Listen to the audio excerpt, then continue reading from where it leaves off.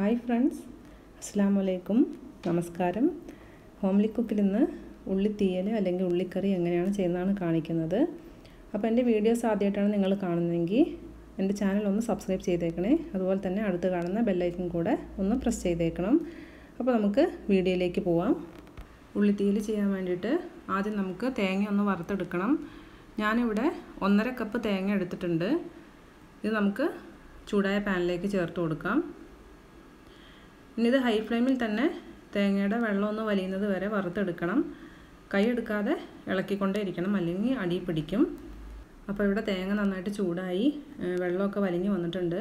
ഈ സമയത്ത് ഫ്ലെയിം ഒന്ന് കുറച്ച് കൊടുത്തിട്ട് ഇതിലേക്ക് ഒരു കാൽ ടീസ്പൂൺ നല്ല ജീരകം കാൽ ടീസ്പൂൺ ഉലുവ ഇത് രണ്ടും കൂടെ ചേർത്ത് നന്നായിട്ടൊന്ന് വറുത്തെടുക്കണം. തേങ്ങ ഞാനിവിടെ ഈ ഒരു ബ്രൗൺ കളർ ആവുന്ന വരെ വറുത്തെടുത്തിട്ടുണ്ട്. ഇങ്ങനെ എല്ലാം ഒരുപോലെ വറുത്ത് കിട്ടണമെങ്കിൽ നമ്മൾ ചിരണ്ടുന്ന സമയത്ത് അതിന് തേങ്ങയുടെ പീസസൊക്കെ ഒരുപോലെ ആയിരിക്കണം. ഒരുപോലെ അല്ലെങ്കിൽ മിക്സിയുടെ ജാറിലേക്ക് മാറ്റിയിട്ട് ഒരു രണ്ട് പൾസ് കൊടുത്താൽ മതി. അപ്പോൾ ഒരുപോലെയായി കിട്ടിക്കോളും. ഇനി നമുക്കിതിലേക്ക് പൊടികളെല്ലാം ചേർത്ത് കൊടുക്കാം. ഒരു അര ടീസ്പൂൺ മഞ്ഞൾപ്പൊടി രണ്ട് ടീസ്പൂൺ മുളക് പൊടി രണ്ട് ടീസ്പൂണിൽ നിന്ന് രണ്ടര ടീസ്പൂൺ വരെ ആകാം. ഇതിപ്പോൾ ഒരു കറക്റ്റ് എരിവായിരിക്കും. ഇനി ഇതിലേക്ക് ഒരു ടീസ്പൂൺ മല്ലി മല്ലിപ്പൊടി കൂടെ ചേർത്തിട്ട് നന്നായിട്ടങ്ങ് മിക്സ് ചെയ്യാം. നന്നായിട്ട് മിക്സ് ചെയ്ത് കഴിഞ്ഞിട്ട് ഫ്ലെയിം ഓഫ് ചെയ്യാം. ഇനി ചട്ടിയുടെ ചൂടാറുന്നത് വരെ ഒന്നങ്ങ് മിക്സ് ചെയ്ത് കൊണ്ടേയിരിക്കുക അല്ലെങ്കിൽ അടിയിൽ പിടിക്കും. ഇനി ഇത് ചൂടാറി കഴിയുമ്പോൾ മിക്സിയുടെ ജാറിലേക്ക് മാറ്റിയിട്ട് അരച്ചെടുക്കാം. വെള്ളം ചേർക്കാതെയാണ് അരയ്ക്കാൻ ഇഷ്ടമെങ്കിൽ അങ്ങനെ ചെയ്യാം. അല്ലെങ്കിൽ വെള്ളം ചേർത്ത് അരച്ചാലും കുഴപ്പമൊന്നുമില്ല. ഞാനിപ്പോൾ വെള്ളം ചേർത്താണ് അരച്ചെടുക്കുന്നത്. ഇനി നമുക്ക് ഉള്ളി ഒന്ന് വഴറ്റിയെടുക്കണം. അതിന് വേണ്ടിയിട്ട് ഒരു പാൻ വെച്ച് ചൂടായി കഴിയുമ്പോൾ അതിലേക്ക് ഒരു രണ്ട് ടേബിൾ സ്പൂൺ വെളിച്ചെണ്ണ ഒഴിച്ചു കൊടുക്കാം. വെളിച്ചെണ്ണ ഇവിടെ ചൂടായിട്ടുണ്ട്. ഇതിലേക്ക് ഇനി ഒരു രണ്ട് പച്ചമുളക് ചേർത്ത് കൊടുക്കണം. ഇനി ഒരു രണ്ട് കറിവേപ്പില കൂടെ ചേർത്ത് കൊടുത്തിട്ട് ഇത് നന്നായിട്ടൊന്നങ്ങ് മൂപ്പിച്ചെടുക്കാം. അപ്പോൾ ഇതിവിടെ മൂത്ത് വന്നിട്ടുണ്ട്. ഇനി നമുക്കിതിലേക്ക് ചുവന്നുള്ളി ചേർത്ത് കൊടുക്കാം. ഞാനിവിടെ ഇപ്പോൾ ഒരു ഇരുന്നൂറ് ഗ്രാം ചുവന്നുള്ളിയാണ് എടുത്തിരിക്കുന്നത്. കപ്പളവ് പറയുകയാണെങ്കിൽ രണ്ട് കപ്പ് കുമിച്ചെടുക്കണം. ഇതിപ്പോൾ ഞാനിവിടെ ഒരു നീളത്തിൽ കനം കുറച്ചാണ് അരിഞ്ഞെടുത്തിരിക്കുന്നത്. നമുക്കത് ഇതിലേക്ക് ചേർത്ത് കൊടുക്കാം. ഇനി ഇത് നന്നായിട്ടൊന്ന് വാട്ടിയെടുക്കണം. പെട്ടെന്ന് വഴന്ന് കിട്ടാൻ വേണ്ടിയിട്ട് ഇതിലേക്ക് കുറച്ച് ഉപ്പ് കൂടെ ചേർത്ത് കൊടുക്കാം. ഉള്ളി ഇവിടെ നന്നായിട്ട് വാടി വന്നിട്ടുണ്ട്. ഇനി ഇതിലേക്ക് നമുക്ക് പുളി ചേർത്ത് കൊടുക്കണം.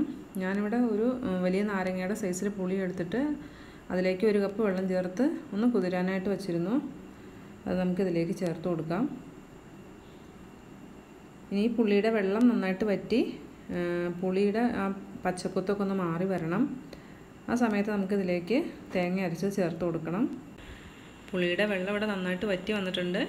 ഇനി ഇതിലേക്ക് നമുക്ക് തേങ്ങ അരച്ചത് ചേർത്ത് കൊടുക്കണം. ഞാനിപ്പോൾ ഇതിലേക്ക് ഒരു ഒരു കപ്പിന്റെ അടുത്ത് വെള്ളം ചേർത്തിട്ടുണ്ട്. പക്ഷേ ഒരു കപ്പ് തന്നെ ആദ്യം ചേർത്ത് അരച്ചെടുക്കരുത് അരഞ്ഞു കിട്ടില്ല. ഒരു അരക്കപ്പ് ചേർത്ത് അരച്ച് നോക്കിയിട്ട് ആവശ്യമുള്ള വെള്ളം ചേർത്ത് അരച്ചെടുക്കുക ഞാനിതിലേക്ക് രണ്ട് കപ്പ് വെള്ളം കൂടെ ചേർത്ത് കൊടുത്തിട്ടുണ്ട്. കുറച്ച് ഉപ്പ് കൂടെ ചേർത്ത് കൊടുക്കാം. ഇനി ഇതൊന്ന് നന്നായിട്ട് തിളച്ച് കുറുകി വരണം. ഹൈ ഫ്ലെയിമിൽ തന്നെ ഇട്ട് വറ്റിച്ചെടുത്താൽ മതി. അപ്പോൾ ഇത് കുറുകി വന്നിട്ടുണ്ട്. ഈ സമയത്ത് നമുക്ക് ഇതിന്റെ ഉപ്പും പുളിയൊക്കെ ഒന്ന് കറക്റ്റ് ചെയ്യണം. ഇതിന് പുളി കുറച്ച് മുൻപിൽ നിൽക്കണം. എന്നാലാണ് ഇതിനകത്തേക്ക് നമ്മൾ ശർക്കര ചേർക്കുമ്പോൾ കുറച്ച് ടേസ്റ്റ് കറക്റ്റായിട്ട് വരുള്ളൂ. അപ്പോൾ ഞാനിതിലേക്ക് കുറച്ച് ഉപ്പ് ചേർത്ത് കൊടുക്കുകയാണ്. ഇനി ഇതിലേക്ക് ശർക്കര ചേർത്ത് കൊടുക്കാം. ഞാനിപ്പോൾ ഇവിടെ പൊടിച്ച ശർക്കരയാണ് എടുത്തിരിക്കുന്നത്. കല്ലുള്ള ശർക്കരയാണെങ്കിൽ ഒന്ന് ഉരുക്കി അരിച്ച് ചേർത്ത് കൊടുക്കാം. ഞാനിവിടെ ഒന്നര ടീസ്പൂൺ ശർക്കര എടുത്തിട്ടുണ്ട്. അതിൽ നിന്ന് കുറച്ച് ചേർത്ത് കൊടുക്കുകയാണ് ആവശ്യമുണ്ടെങ്കിൽ പിന്നെ ചേർത്ത് കൊടുക്കാം. അപ്പോൾ ഞാനിപ്പോൾ മുഴുവൻ ശർക്കരയും ചേർത്ത് കൊടുത്തിട്ടുണ്ട്. ഇത് നന്നായിട്ടൊന്ന് തിളച്ച് കഴിയുമ്പോൾ നമുക്ക് ഇതിന്റെ ഫ്ലെയിം ഓഫ് ചെയ്യാം. ഉള്ളിക്കറി ഇവിടെ റെഡിയായി വന്നിട്ടുണ്ട്. ഇനി ഇതിന്റെ ഫ്ലെയിം ഓഫ് ചെയ്തിട്ട് ഇതൊന്ന് താളിച്ചൊഴിക്കാം. അതിന് വേണ്ടിയിട്ട് ഒരു ടേബിൾ സ്പൂൺ വെളിച്ചെണ്ണ ചൂടാക്കുകയാണ്. വെളിച്ചെണ്ണ ചൂടായി വരുമ്പോൾ ഇതിലേക്ക് ഒരു അര ടീസ്പൂൺ കടുക് ചേർത്ത് കൊടുക്കാം. പിന്നെ ഒരു തണ്ട് കറിവേപ്പില കൂടെ ചേർത്ത് കൊടുക്കണം. ഒരു രണ്ട് വറ്റൽമുളക് ഞാനൊന്ന് മുറിച്ചിട്ടിട്ടുണ്ട് അതുകൂടെ ചേർത്ത് കൊടുക്കാം. ഇനി ഇതിലേക്ക് ഒരു ടേബിൾ സ്പൂൺ തേങ്ങ ചെറുതായിട്ടൊന്ന് അരിഞ്ഞത് കൂടെ ചേർത്ത് കൊടുത്ത് നന്നായിട്ടൊന്ന് മൂപ്പിച്ചെടുക്കാം. ഇനി ഇത് മൂത്ത് വരുമ്പോൾ നമുക്ക് ഇത് കറിയിലേക്ക് ചേർത്ത് കൊടുക്കണം. അപ്പോൾ ഉള്ളി തീയിൽ ഇവിടെ റെഡി ആയിട്ടുണ്ട്. അപ്പോൾ ഇതുപോലെ ഒന്ന് ചെയ്ത് നോക്കിയിട്ട് ഇഷ്ടപ്പെട്ടെങ്കിൽ ലൈക്ക് ചെയ്യാനും കമന്റ് ചെയ്യാനൊന്നും മറക്കരുത്. അതുപോലെ തന്നെ നിങ്ങളുടെ റിലേറ്റീവ്സിനൊക്കെ ഒന്ന് ഷെയർ ചെയ്തുകൂടെ കൊടുക്കണം. അപ്പോൾ ഇനി നല്ലൊരു വീഡിയോ ആയിട്ട് വീണ്ടും കാണാം. Thanks for watching